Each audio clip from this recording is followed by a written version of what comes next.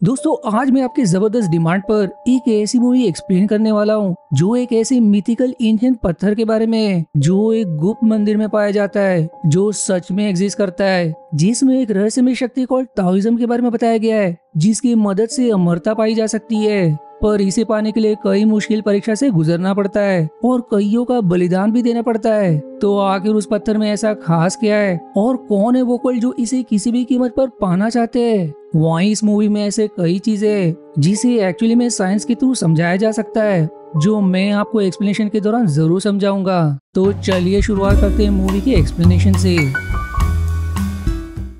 Film की शुरुआत एक दर्दनाक सीन से होती है, जहाँ एक महिला चीखते चिल्लाते एक रहस्यमय बच्ची को जन्म देती है, क्योंकि उस बच्चे की एक आँख में डबल विजन यानी कि दो पुतलियाँ होती है, जिसकी तुरंत बाद हमें कुछ अजीब सीन दिखाए जाते हैं, जिसका मूवी के प्लॉट से क्या लेना देना है, हमें आगे पता चलेगा। अब अगले सीन में हम foreign affair police office Wong को देखते हैं। और अगर मैं वॉन्ग का बैकग्राउंड दूँ तो उसने कुछ महीने पहले करप्शन का पर्दाफाश किया था, जिसमें उसकी पत्नी चिंग की कज़न को भी जेल हुई। इसलिए बदले की आग में जेल से छूटते ही हुआंग का कज़न हुआंग की बेटी को मारने पड़ता है। लेकिन जैसे उसने गोली चलाई, गोली फिजिक्स के लॉ को डिफाई करते हुए हुआंग की बेटी के सिर से डिफ्लेक्ट होते हुए उल्टा उसी को लग जाती है। अब वो गोली कैसे डिफ्लेक्ट हुआ, इसके बारे में मैं आगे समझाऊँगा। वहीं उसका कज़न उसी पर ढेर हो जाता है। पर क्योंकि वो गोली हुआ की बेटी के सिर को छू कर निकल गई थी, इसकी वजह से उसकी बोलने की क्षमता चली गई। इसीलिए वांग तब से कोई कोई का जिम्मेदार मानने लगा, क्योंकि ना उसने कज़न को पकड़वाया होता, ना वो उससे बदला लेता, जिस वजह से वो तब से अपने घर नहीं जाता और 24 घंटा अपने ऑफ़िस में ही रहता है। अब इसके बाद हमें एक ऑफ़िस का सीन दिखाया जाता है, जहाँ एक एम्प्लॉय अपने बॉस को उसके केबिन में मरा हुआ पाता है। इसलिए फिर तुरंत वहाँ फॉरेंसिक टीम पहुँच जाती है, जिन्हें लाश की नाक से खास तरह का फंगस मिलता है। और अब हमें समझ में आता है कि उस प्रेग्नेंट बच्ची को दिखाने के बाद ऐसे सीन्स क्यों दिखाए? क्योंकि ये फंगस से मिलते जुलते हैं। वहीं ऑफिसर फैंक की पूछताछ करने पर ऑफ़िस के स्टाफ उसे ये बताते कि उनका बॉस सुबह से कहीं बाहर ही नहीं गए, जिन्हें अजीब कारण से इतने गर्मी में भी ठंड लग रहा था। जिसी वजह से उन्होंने ऑफ़िस के सारे एसी बंद करवा दिए।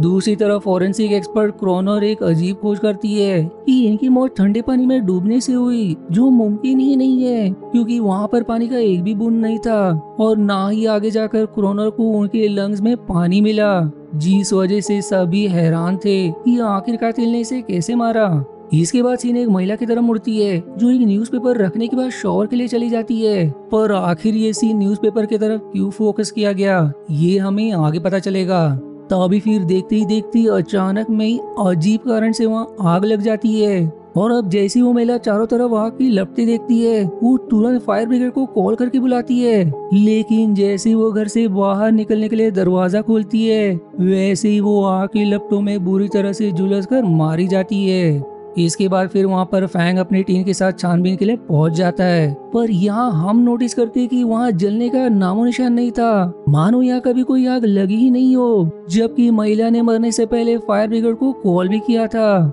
इतना कम नहीं कि उस महिला की लाश को देखकर ऐसा लग रहा होता है, जैसे वो बाटब में डूबकर मरी हो। एक और खास बात की ऑफिसर को उस महिला के नाक से वही फंगस मिलता है, जो पिछले वारदात पर भी मिला था। ऊपर से जाँच करने पर क्रोनर को पता चलता है कि इसकी मौत बहुत ही ज़्यादा तापमान में जलने के कारण हुई। वहीं दूसरी तरफ़ हम हुआ को देखते हैं, जिससे मिलने के लिए उसकी पत्नी और बेटी उसके ऑफ़िस आते हैं, क्योंकि उसकी पत्नी चाहती थी कि आज वांग अपनी बेटी को हॉस्पिटल लेकर जाए, क्योंकि उस चोट के कारण आज भी उसका इलाज चल रहा है। इसीलिए वोंग अपनी बेटी को लेकर हॉस्पिटल पहुँचता है, और यहाँ जब वोंग डॉक्टर से बातें कर रहा होता है, तभी उसकी बेटी इधर उधर घूमते हुए हॉस्पिटल के डरावने लैब में पहुँच जाती है, जहाँ उसे एक नवजात बच्चे की केमिकल में डूबी लाश दिखाई देती है। जिसकी आँखों में डबल विजन मौजूद था, जैसा हमने मूवी की शुरुआत में देखा था। पर अब ये सवाल कि ये सीन आखिर इतना ज़रूरी क्यों है? इसका क्लाइमेक्स आगे रिवील होगा। अब इसके बाद सीन चर्च के फादर की तरफ़ मुड़ जाती है, जो अचानक से देखता है कि उसकी पेट से काफ़ी खून बह रहा है, और फिर अगले पर उसकी मौत भी हो जाती है। अब क्योंकि ये फादर अमेरिकन नागरिक थे, इस वजह से ये केस वोंग को सौंप दिया जाता है। यहाँ फादर के नाक से भी बिल्कुल वैसा ही फंगस मिलता है। यानी कि ये भी काम उसी हत्यारे का है। पर इस बार कातिल ने लाश के पेट के अंदर से उसकी अंतड़िया निकालकर उसे फिर से सिल दिया था। साथ ही उसने फादर के पेट पर एक अजीब सिंबल बना दिया था। वहीं क्योंकि फादर एक अमेरिकन नागरिक थे, इसलिए इस केस की छानबीन के लिए अमेरिका से एबीआई ऑफिसर केविन को ताइवान बुलाया जाता है। वहीं केविन सिर्फ़ इंग्लिश समझता था, और क्योंकि वहाँ के अलावा किसी को भी इंग्लिश नहीं आती थी। इसलिए वहाँ को इस केस में केविन का पार्टनर बना दिया जाता है। इसके बाद वहाँ केविन को लेकर एक फ्रिज से मिलकर ले जाता है, जहाँ वो फ्रिज फादर के पेट पर बने हुए सिंबल को देखकर एक खास बात बताता है कि ये सिंबल कई साल पहले चाइना के एक पुराने मंदिर में देखा गया था। और साथ ही इस मंदिर में कई सारे ऐसे पत्थर भी पाए गए, जिनमें अजीब पहली में लिखावट बनी हुई थी। इसी दौरान फिर हमें कंपनी का सीन दिखाया जाता है, जहाँ एक अनजान आदमी को लेकर उस कंपनी के लोग एक मंदिर में प्रवेश करते हैं, जो बिल्कुल चाइना वाले मंदिर की तरह दिख रहा था। यानी कि ताइवान के कंपनी के अंदर चाइना के उस मंदिर के ही जैसा एक मंदिर मौजूद था। यहाँ फिर कुछ लोग उस अनजान आदमी की आँखों में पट्टी बांधकर एक खास तरह का रिचुअल शुरू करते हैं और फिर पीछे से चाकू बोकर उस रिचुअल के नाम पर उसे बलि चढ़ा देते हैं। अब ये लोग क्या कर रहे थे और इस मंदिर का क्या रहस्य है, ये कुछ ही देर में रिवील होगा। इधर वांग मंदिर के पत्थरों पर बनी पहली को काफ़ी हद तक हल कर लेता है, जिससे उनको पता चलता है कि कातिल इस पहली के मुताबिक जो भी उनके रास्ते में आ रहा है, उसे मारते जा रहा है। जैसे कि वो अनजान महिला, जो आई विटनेस थी हत्यारे के किसी केस में, इसलिए मूवी का फोकस थोड़ी देर के लिए उस न्यूज़पेपर पर रुक गया था। यानी कि कातिल की उनसे कोई जाति दुश्मनी नहीं थी। जीसी पैटर्न को देखकर दोनों भी उस कातिल के अगले शिकार के नाम का पता भी लगा लेते अब अगले दिन अमेरिका से उस फंगस की रिपोर्ट आ जाती है, जहाँ के एक्सपर्ट्स वॉरों केविन से ये शेयर करते हैं कि ये एक तरह का हाइब्रिड फंगस है, जो दुनिया में बहुत ही कम पाया जाता है। कातिल इस फंगस को एसी के अंदर प्लांट कर देता है, जिससे ये फंगस इंसान के नाक के रास्ते से होते हुए उसके दिमाग तक पहुँच जाता है। जिसी की वजह से उस इंसान को हेलुसिनेशन होने लगते हैं। अब साइंटिफिकली ये फंगस हेलुसिनेशन कैसे ट्रिगर करता है, ये मैं आपको आगे समझाऊँगा। वही वो कातिल कुछ तो ऐसा करता है, जिससे शिकार बिल्कुल वैसा ही चीज़ हेलुसिनेट करता है, जो कातिल उनसे करवाना चाहता है। और क्योंकि शिकार वैसा महसूस करता है तो दिमाग भी शरीर की गतिविधियों को बिल्कुल वैसा ही कर देता है, जिससे इंसान की मौत हो जाती है। जैसे कि कोई ठंड की वजह से मर गया, और कोई जलकर बल्कि सच्चाई कुछ और ही होती है। वहीं दूसरी तरफ़ मंदिर के दो लोग उस मरे हुए आदमी की लाश को लेकर ठिकाने लगाने के लिए कहीं ले जा रहे होते हैं। लेकिन ट्रैफ़िक की वजह से उनकी कुछ लोगों से अनबन हो जाती है, जिसकी वजह से मंदिर वाले लोगों को भागना पड़ता है, क्योंकि वहाँ मौजूद भीड़ को उनकी गाड़ी में लाश के होने का पता चल चुका था। यहाँ भी फिर वॉन्ग और केविन पहुँच जाते हैं, जहाँ उन्हें पता चलता है कि इस लाश के शरीर से दिल को निकाल लिया गया।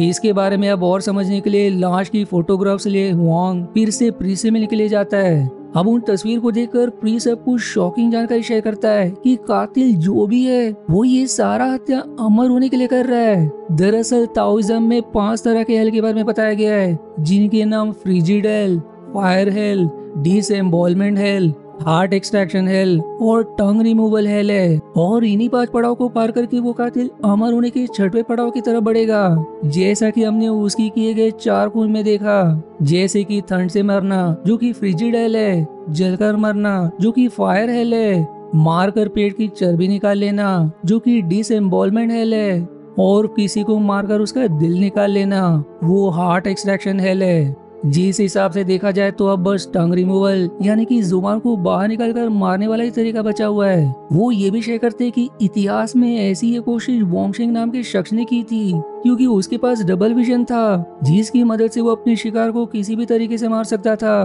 क्योंकि उसका डबल विजन उसे ऐसी शक्ति प्रदान करता था। इसी दौरान वॉन्ग को केविन का फ़ोन आता है, जो उसे बताता है कि जिस वैन में लाश मिली थी, वो वैन शहर के एक जाने माने कंपनी के दो मालिकों के नाम पर है, जिन्होंने अपनी सारी दौलत को चाइना के पुराने मंदिर को ताइवान लाने में लगा दिया। और वो भी इसी कल का हिस्सा है। यानी कि इस कंपनी के मालिकों ने ही वो चारों खून किए थे। इसलिए उन दोनों को पकड़ने के लिए फैंक पुलिस फोर्स लेकर उस मंदिर के लिए पहुँच जाता है। लेकिन इससे पहले कि पुलिस उन्हें गिरफ़्तार करते कर्ड के फॉलोअर्स पुलिस वालों को बुरी तरह से मार देते हैं, जिसकी शोर सुनकर बैकअप टीम फ़ौरन वहाँ पहुँच जाती है। पर तब तक काफ़ी देर हो चुकी थी, लेकिन भाग्य से फैंग अब भी ज़िंदा था। और आखिर में कंपनी के दोनों मालिकों को पुलिस द्वारा पकड़ भी लिया जाता है। इसके कुछ देर बाद हुआ और केविन को मंदिर के अंदर वही पत्थरों की लिखावट के साथ साथ ज़मीन में गाड़ी एक लड़की भी मिलती है, जिसकी हालत काफ़ी गंभीर थी, जिसे देखकर केविन और हुआ को लगता है कि ये लड़की दोनों मालिकों का पांचवा शिकार होगा, क्योंकि उसके भी पेट में चोट लगी थी। इसलिए उस लड़की को तुरंत हॉस्पिटल ले जाया जाता है। जीसी के साथ ये केस भी क्लोज कर दिया जाता है, क्योंकि ये केस अब सुलझ चुका था। पर यहाँ वो अपनी बेटी के उस सदमे में पूरा खोया हुआ, वो उस पीस की सबसे खास बात मिस कर देता है, जो क्या है हमें आगे रिवील होगा। दोनों फिर केस को सॉल्व करने के जश्न में हुआ के घर पर अच्छा टाइम बिताते। हैं जीसी खुश मूड में हुआ का भी अपनी पत्नी से दूरिया कम होने लगता है।